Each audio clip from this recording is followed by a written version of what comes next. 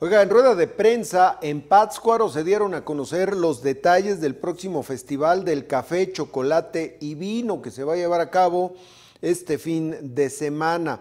Se ofrece eh, una experiencia de sensorial bastante interesante en este festival en el cual también estarán participando varios artesanos de la región.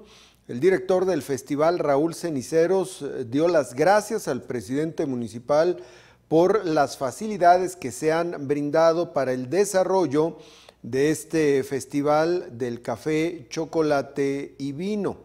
Este festival permitirá dar a conocer la riqueza del Estado, que se hable bien de Michoacán y de Pátzcuaro, que se ponga Pátzcuaro en boca de todos. Pero no solamente se tendrá este festival el fin de semana, se vienen una serie de acontecimientos, de eventos importantes para Pátzcuaro que da a conocer el alcalde Julio Arreola.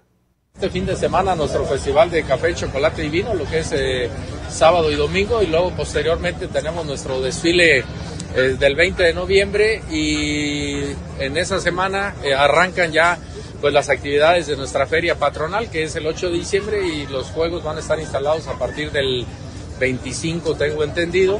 Eh, tenemos una buena cartelera en el Teatro del Pueblo y bueno, diferentes actividades en este marco. Y posteriormente viene nuestro nacimiento monumental eh, con diferentes actividades durante el mes de diciembre para culminar el 6, el 5 de enero con esta tradicional cabalgata de Reyes Magos que es pues una de las mejores cabalgatas de toda la República.